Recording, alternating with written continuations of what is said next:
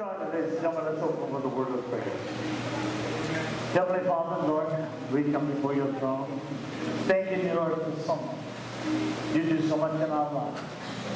We want to thank you for your mercy and your grace that you extend to each one of us. Lord, sometimes it feels like you move so far away from us. But Lord, that's the reason why we walk by faith and not by sight. Because your word tells us that you never leave us or forsake us.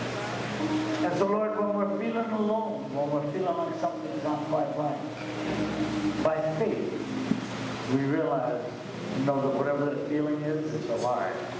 Because God is always with us. Amen? So, Lord, we pray that as we move forward through the day, that you keep our hearts and our minds open, Lord, to what everybody's going to be receiving today. And we want to thank you, Lord, for being there, for preparing this spiritual feast for each one of us to enjoy today. So may we take what is said today, Lord, and make sure that it becomes part of our life. Make sure that we understand it. And that we would change whatever needs to be changed in order to follow what the Word of God says. So we thank you. Allow me to step back out of the way, Lord, while you step forward. May the words that I speak be your words and not my own. We thank you for everything that you're doing in our lives. In Jesus' precious name we pray. Amen. Amen. I wanted to speak to you today, ladies and gentlemen, from the name of this sermon called No Man is an Island. And of course that goes for you women too. Okay. No man is an island. My focus statement is that we were never meant to be alone in our salvation. Amen? And my function statement of the day is, that's why we are known as the body of Christ. All parts together. Turn your Bibles to Hebrews 10. We're going to read 19 through 25. And since we have a great priest over the house of God, let us draw near with a sincere heart, in full assurance of faith, having our hearts sprinkled clean from an evil conscience and our bodies washed with pure water. Let us hold fast the confession of our hope without wavering, for he who promised is faithful.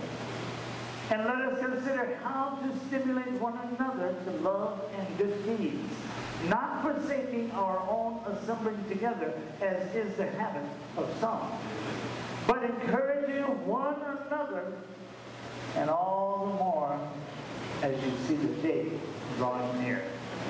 Let's be seated.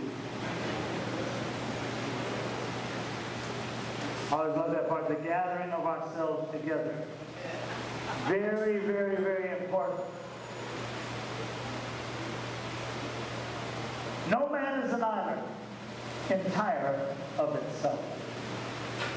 Each is a piece of the continent, a part of the main. If a clod be washed away by the sea, Europe is the less. As well as if a promontory were, as well as if a banner was thine own or of oh thine friends were. Each man's death diminishes me, for I am involved in mankind. Therefore, sin not to know for whom the bell tolls. It tolls for me. You know, this was written by a guy named John Donne, who lived from 1572 to 1631. He wrote this as one of his meditations, number 17. And it reveals his deep thoughts of just how close and how connected we all are. What do you think his meditation or devotional meant? What was he, in your opinion, trying to say? Well, I think he was trying to say that we all are part of something that cannot be ignored. It doesn't matter what race we are, what color we are. We are all part of the human race. We all might have different skin colors. We might have different hair textures. We might have different facial features. But we all bleed red. We all breathe the same air. And whether we like it or not, we all come from the same human parents. So we are all connected one way or another, all the way down through the lineage of Adam and Eve, our first human parents. Now, what is the main thing that we should notice about the human race? The thing that I notice the most, and especially in these days and times, is that we're all stuck here on this planet where if someone was to look at us from a distance, like if there were some aliens out there checking our planet out, they would see one big unhappy family. They would see the largest dysfunctional family ever in existence. I thought that was mine up until I read this. Everybody fighting, everybody arguing, everybody killing one another over what? Money, power, control over land, and its oil reserves, all of that stuff. None of us is getting the upper hand on the situation where they can do any, any good. We see it in politics every day, don't we? Congress fighting between one another. The Democrats against the Republicans, each trying to get their way, where they're both willing to let the people suffer in the wake of their squabbling back and forth. We watched that happen over this last year, didn't we? We watched the Democrats and the Republicans. We saw the Republicans going after the president. They were just having a big old mess, and they would rather watch the people suffer as the government closed down while they're squabbling between each other. We had Obama busy when he was running for, for the office. He was busy trying to degrade Romney, which didn't take too much. Did I say that? That was a little political, wasn't it? So Obama was degrading Romney in his past. He was going into his past in order to convince the public that he was not the one to lead the nation as his next president. One big ugly mud fight was going on, slinging mud at each other to their own disgrace.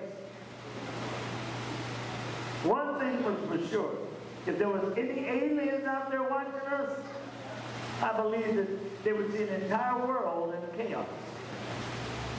And I believe that they would see the entire human race as one. They wouldn't take sides. They would see us all as the problem. So, I believe that we can safely say that there is respectively no harmony in the world. Is there? Is it a wonder that the world is in general does not get along. We can't even get along with our own people right here in this nation, in this country. That's why we have certain groups of people that have fractured off from the mainstream of the population, have formed their own itinerary and belief structure, rejecting all the normal paths leading to community. This is normally accomplished by one or more charismatic leaders that people are willing to listen to. The most dangerous thing about this is that people are gullible. People are gullible. If they don't know Jesus Christ as their Lord and their Savior, they'll listen to anybody else that has that charismatic personality. And that's why it's so important to study the Word of God, to attain Sunday, to attend Sunday services in order to get spiritually fed. That's why it's so important to come together corporately and learn what the Bible says together so that we don't go off interpreting the Bible just any old way. Ladies and gentlemen, this stuff happens.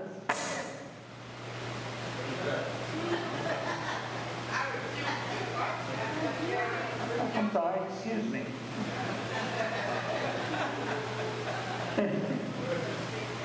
Anyway, every day we run into this. People come down. I can't tell you how many times I'll be in here teaching Bible study or whatever, and somebody will come in here and have some way off the wall belief that has nothing to do, way off. Bible has nothing to say about that, what they're trying to follow through with. And I'll sit there and I'll try to take the time to explain you know, to break it down for them. But you see, if they do not know what the Bible says, they do not, and if they have not given their hearts to Christ and they don't know Him as Lord and Savior, what happens? They've been leaning on their own understanding. They've been leaning on their own understanding and they come up with these wild doctrines. It's just what the thing goes does all the time. I'll ask them questions like, people say, do you go to church? And they'll look at me and say, oh, I, I go to church. Really? I had one lady yesterday, she said, I'm very spiritual. My red flag went up. You're very spiritual, huh? She says, oh yeah. She says, I meditate all the time. Brings me closer to God. I said, really? I said, that's good. I said, what do you do? What, what do you believe about Jesus Christ? Oh, he's, Jesus is just one of the enlightened ones. What? One of ones? You know, what do you do with Jesus says in justice, I am the way, the truth, and the life. Nobody comes to the Father but by me. I mean, what do you mean I'm one of the enlightened ones? That's just, it's just crazy. We need to understand this is all the stuff that's going on out there. Old belief structures that people start bringing up, and, and they're following them even today. They just newly package them. So you got to watch out what it is that you're hearing, and what it is that you make sure that you know your word so that you can refute anything out there. Amen? Now, when people decide to go off on their own, what happens? They begin to put together their own theology, leaning on their own understanding. And it's no wonder nobody is there to explain Scripture to them. Nobody is there to help them understand. They've left the mainstream. So people separate themselves from the body of Christ. They go their own way, creating their own cultic religion. coming up with numerous sinful practices that are completely against what Scripture teaches. Think about it. You know, you remember David Koresh? He was of the Branch Davidians in Waco, Texas.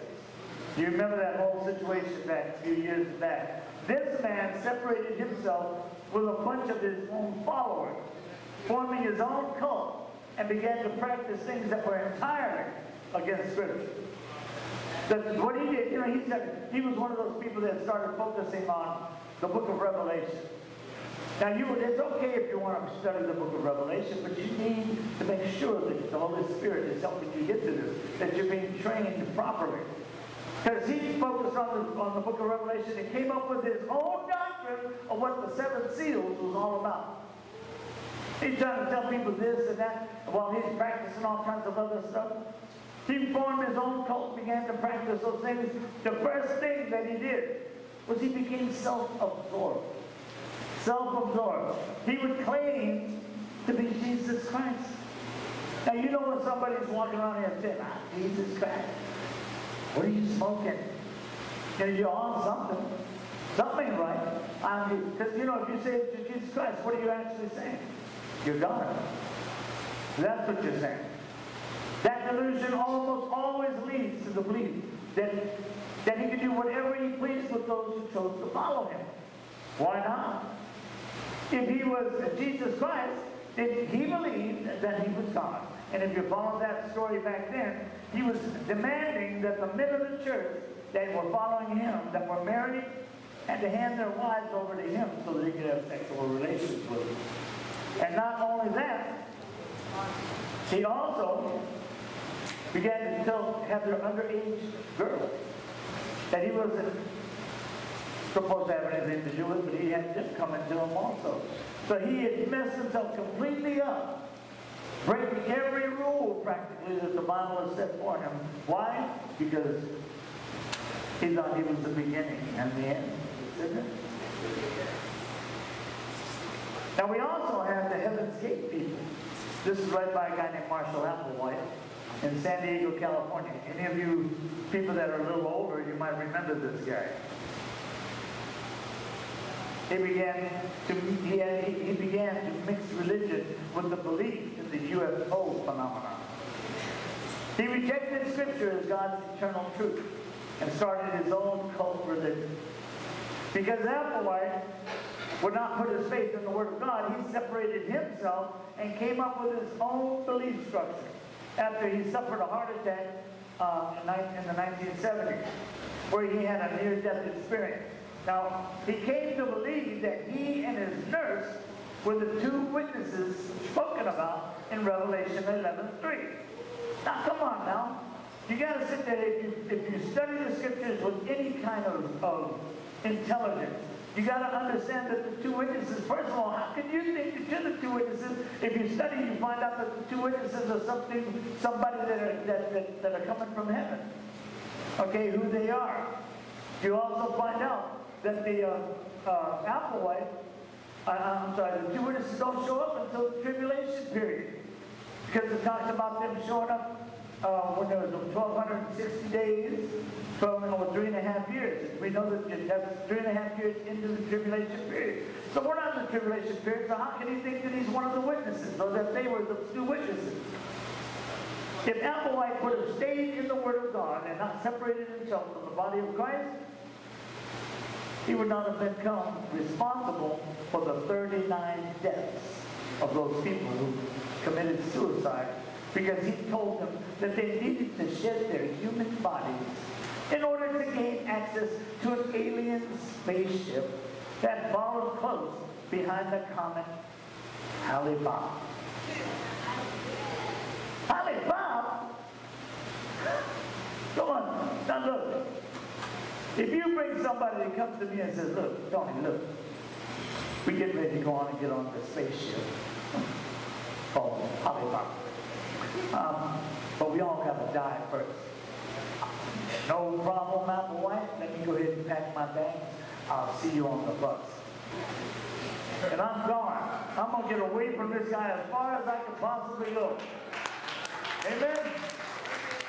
He's trying to get you to give up your life. Don't you give up your life for no nonsense like that. Amen?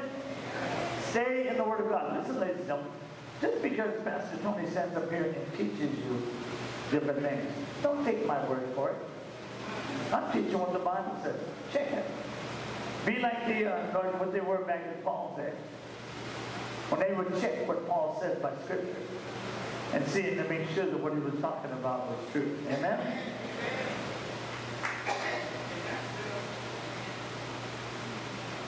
Can you see the danger of trying to be a lone wolf? When we separate ourselves from the rest of the body of Christ, when we try to distance ourselves from the church, for whatever reason, we're, we're setting ourselves up for Satan to have his way with us. We need to remember what 1 Peter 5 8 said. Be of sober spirit. Be on the alert. Your adversary, the devil, prowls around like a roaring lion, seeking someone to devour. When a lion seeks for its prey, what does it look for? He looks for the weak. He looks for the injured and the young. He looks for the one that is lagging behind, the one that is separated from the rest of the group. Because he knows that any of the herd that is alone is probably easy pickings. Amen? When a person is off by himself, he knows that they are in an unhealthy mindset. Angry at the world because someone had insulted them here in the church. And what might be that insult? Let's think about it. I've watched them. I've watched them come around. Might be that you've been identified as one of those brothers that likes to use uh, that spiritual approach when you're out prowling for that Christian sister that you know won't have a thing to do with you unless she believes that you are a wonderful, spiritually strong brother in Christ, setting the bar for all other Christian brothers. Let me tell you something. It happens every week. I get somebody come and sit down and say, Pastor Tony, I need to talk to you about something. I said, what is that? Well, and I'm single. I, I'm trying to I'm trying to spend some time with this brother. And he came and he told me how spiritual he was and, and this and that. And then we were spending some time and he said, Oh, sister, why don't you come on up to my apartment and we'll, we'll pray. We'll read the Bible together. Then they get up there, man, and, and, and, and brother so-and-so turned into brother octopus. Hands all over the place. They come down past. What do I do with them? I'm okay to keep him. Get rid of that one. He got something wrong. He got something else going on. Got to watch out for that. You know, because they're out there. They got brothers that are out there that do stuff like that. Don't they know that they're going to be held responsible? You're going to be held responsible for that stuff. And I don't let your sisters get all free. You don't know how you are. You know, I, love Jesus. Let me go ahead and buy these new clothes. I love Jesus. Is that short enough? And, and they ain't going like this. Is that short enough? No, they're going like this. Is this short enough? You gotta watch out. Listen, it's your responsibility to keep it straight, keep it real. You know, you don't want to be out there trying to get your brothers to lust after you. No. You know, every man in here got red blood running through his veins. We're all men, amen? You don't want Pastor Money. I got to preach the word today. I got to. you just never know.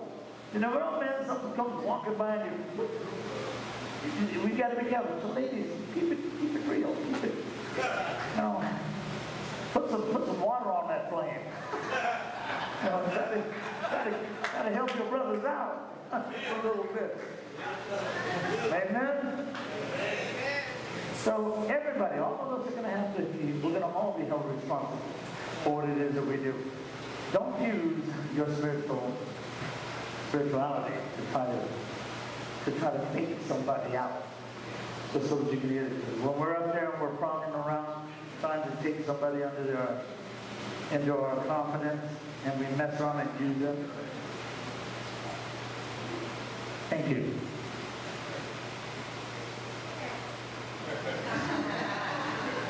So you're out there trying to do it, you're going to have to stand in front of the Lord. Amen?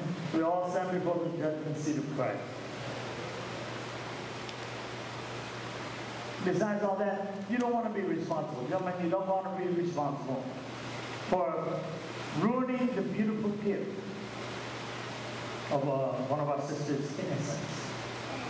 That was supposed to be for the man that God has provided for her. Amen? When you do that, you're taking something that doesn't belong to you. Okay? Now listen, church, don't let a little argument chase you away from your true family. And I'm talking about the family of God, the body of Christ. Don't find yourself secluded, learning on your own, or I'm sorry, leaning on your own understanding. Keep yourselves plugged into the body of Christ. Remember, Jesus says that we can do nothing without him. We are completely spiritually bankrupt when we disconnect ourselves from the source of our strength and our power. When you don't come to church, when you try to stay away from church, time out. I can, I can, I can learn just sitting up here in the living room drinking my Budweiser and watching Joel Osteen. You know, doing your church on TV. No, no, no, no, no. That isn't the way that it works. In fact, let me tell you something. Have you ever thought about the fact that Jesus not only wants you in church because that's where you need to stay plugged in, but he wants you in church because you have something to offer other people. It isn't just about all of us coming in there and taking. My brothers over here, all of us, we went through life, haven't we? We've been through life. We've been through some hard times. We learned a lot out of that, didn't we? We know the steps to take and what ones not to take. How do you know that God doesn't want you to interact with somebody else? To tell them, to teach them, to show them, and share with them your experience in life to keep them from going the same way. I know for a fact that that's the reason why I'm down here. All the messiness that I did, man, let me tell you something. God picked me up, cleaned me off, and set me right back down here so that I can share it with you. Amen? Nothing is by accident. You are not here by accident. Amen? You're here for a reason. We need to always remember that. That's why Ephesians 2.10 says, For we are his workmanship created in Christ Jesus for good works, which God prepared, prepared beforehand so that we would walk in them. You see, all of us have a different path to walk. And as we walk in the good works that God has prepared beforehand for us, He has given one person a set of good works to walk in, and another person a different set. And then when we all come together corporately in congregation, we get a chance to hear from other brothers and sisters about what they have learned on their journey. And then we get to share with them what has happened on our journey. And hopefully we will all be able to learn from each other, from one another. Amen? So remember, church, no man is an island. If we're truly saved and filled with the Holy Spirit, we will not want to pull apart from God's heavenly family. We will not want to separate ourselves from the community. The only time we separate ourselves from the community of God is because we get lazy. We don't want to get up and get dressed. I don't want to get up and brush my tooth. Uh, my teeth. In my case, I don't want to get up and pull my teeth out of the out of the glass. I don't want to do that. See, we get lazy. We don't want to do what we need to do. We need to get up out of that bed, comb your hair, brush your teeth, wash your face, and get on down here. Share with the body of Christ, part of your family. And that is the church that Jesus Christ has been building for us for the last 2,000 right attitude and the right desire to fit in with the body of Christ. See, we will enjoy all of the wonderful blessings that come with his protection and his grace.